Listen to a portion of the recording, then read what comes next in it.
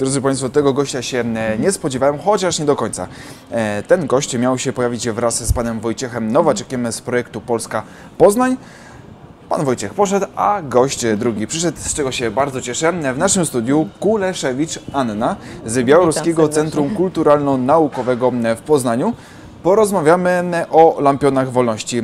Z panem Wojtkiem już ustaliliśmy, że niestety lampiony nie będą mogły być e, puszczone w niebo, ale cała impreza się odbędzie. To bardzo dobrze, bo to bardzo ważny temat. Pan Wojciech opowiadał o atrakcjach związanych z lampionami wolności. Trudno mu było wypowiadać się o Białorusi, no bo wiedzę tak naprawdę czerpiał, czerpał przede wszystkim od Was, z Białoruskiego Centrum Kulturalno-Naukowego w Poznaniu.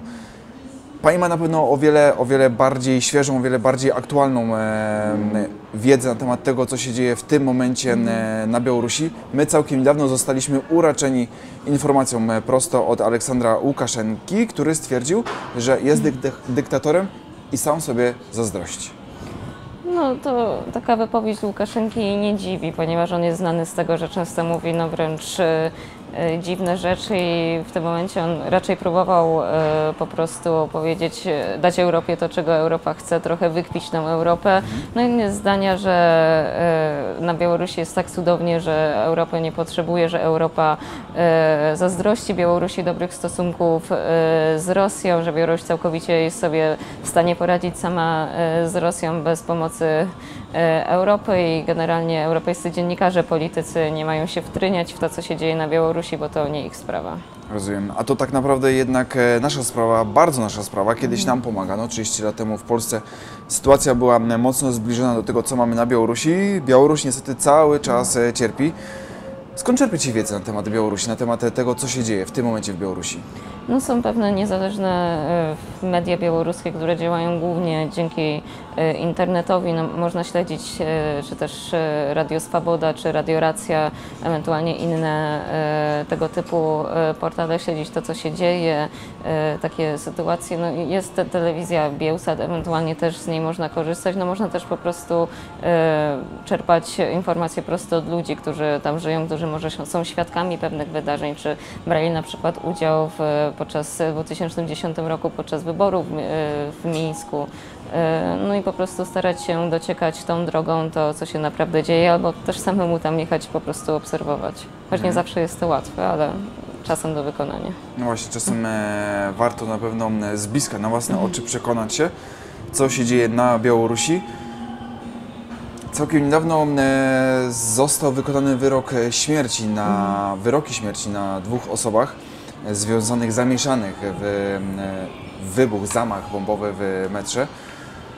Ta sprawa się głośno odbiła echem nie tylko w Polsce, ale i w całej Europie. W Białorusi ta sprawa jeszcze jakoś żyje, czy to już wszystko ucichło? Mm, Raczej już ucichło. Poniekąd można było czasem przeczytać o protestach matki Władysława Kowalioł, która apelowała o to, żeby e, wydać jej ciało syna. Prawdopodobnie dobiła swojego e, celu, no a sprawa obiła się i w Polsce i w Europie gromkim echem, ponieważ o ile na przykład w stanie Virginia w USA e, od wyroku do wykonania kary śmierci mija średnio 8 lat, podczas których ciągle toczą się jakieś procesy, zdobywane są dowody, to o tyle w przypadku tych e, dwóch młodzieńców, no, który, których właściwie nie idzie stwierdzić, czy oni naprawdę byli winni, e, czy nie, wyrok e, zapadł natychmiastowo i kara śmierci została wykonana po czterech miesiącach. I, no, to był niedostateczny czas, żeby stwierdzić, tak naprawdę udowodnić winę, zebrać wszystkie dowody i spekulacje ciągle mogą być, bo tak naprawdę samo to śledztwo wymagałoby śledztwa i proces ten, wszystko powinno być przeprowadzone raz jeszcze, na pewno dłużej, porządne i pewnie e, nie tylko za pomocą służb białoruskich, aby to wyjaśnić, bo sprawa jest tajemnicza, nadal i kontrowersyjna. No właśnie. e, Są e, sprawy ważne, są sprawy e, mocno kontrowersyjne, jak na przykład ten zamach, ale są też sprawy zwykłych Białorusinów, którzy żyją w swoim kraju, żyją w swoim państwie.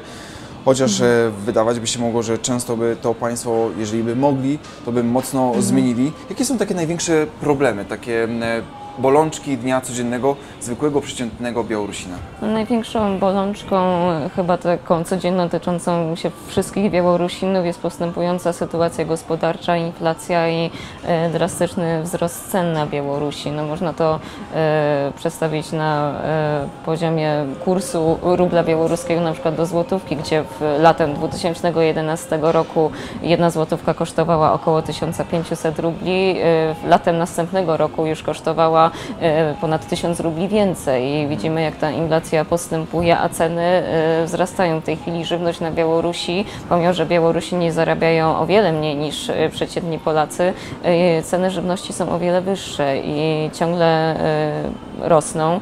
I no, często Białorusini próbują się ratować tym, że po prostu stoją w długich, horrendalnych kolejkach do konsulatu, czy też załatwiają wizy teraz przez internetowy konsulat i jeżdżą na zakupy do Polski, chociaż są postępującą róż, e, różnicą walutową, to się staje coraz mniej opłacalne i to jest tak naprawdę największy problem wielu Białorusinów, zwłaszcza na niewielkich wsiach, gdzie e, w ogóle nie ma zbytniej możliwości, nawet e, nie ma sklepu, tylko jeżdżą takie sklepy obwoźne, nie ma, jest kołchoz, który nie zawsze właściwie pracuje albo prawie w ogóle nie pracuje, oni zarabiają kilkaset złotych, e, jeśli e, dobrze idzie, no po prostu mają swoje ogródki przydomowe i kurki, e, drób i z tego się żywią, z tego co sami sobie wyhodują, z tego co u nich wyrośnie. Mm, Z historii Polski e, można jasno wyczytać, że bardzo często do wydarzeń takich przełomowych w naszym kraju dochodziło wtedy, kiedy rzeczywiście ta sytuacja gospodarcza, ekonomiczna, czy też po prostu sytuacja dnia codziennego przerastała Polaków. Wtedy rzeczywiście wybuchały e, jakieś e, takie protesty, które w końcu doprowadziły do tego, że nasz kraj jest wolny. Czy na Białorusi też będziemy czekać do właśnie takiego momentu, aż po prostu przeleje się ta czara goryczy, kiedy będzie już tak źle, że nic innego nie będzie można zrobić, jak po prostu wyjść na ulicę? Czy sądzi Pani, że coś jest w stanie przyspieszyć zmiany demokratyczne na Białorusi? Trudno to stwierdzić, ponieważ prognozowano już wiele razy upadek reżimu. No myślę, że wszystko się kończy, bo upadały i największe imperia historii, także imperium, e, to małe imperium Aleksandra Łukaszenki też się na pewno e, kiedyś skończy, choć są różne prognozy mówiące, że być może Łukaszenka przekaże władzę jednemu ze swoich synów, ale e, to jest na razie wizja przyszłościowa. No może się zdarzyć, że w pewnym momencie będzie już tak źle, że ludzie nawet z tych jakichś swoich zasobów nie będą w stanie wyżyć i no, nie pozostanie im nic innego, jak po prostu wyjść na ulicę i e, krzyczeć. Wielu ludzi mm, też wypowiadając się na temat ewentualnych sankcji, które miałaby nałożyć Europa i inne kraje na Białoruś, e, wypowiadało się różnie. Jedni mówili, żeby tego nie robić, bo to uderzy w ludność, ale były też opinie mówiące, że ludność i tak ma źle, ci najbiedniejsi i tak właściwie nie żyją, żyją z tego, e, co po prostu mają wokół swojego domu, także oni by jakoś przetrwali, a może by to przyspieszyło jakieś zmiany w państwie, ale to są na razie takie spekulacje, jak to będzie, na jakie kroki zadecyduje się Europa i świat, chociaż tak naprawdę ta rzeczywista pomoc Europy często kończy się po prostu na mówieniu, na zachęcaniu, e, na współczuciu niż na realnych działaniach i to jest też dosyć przykre.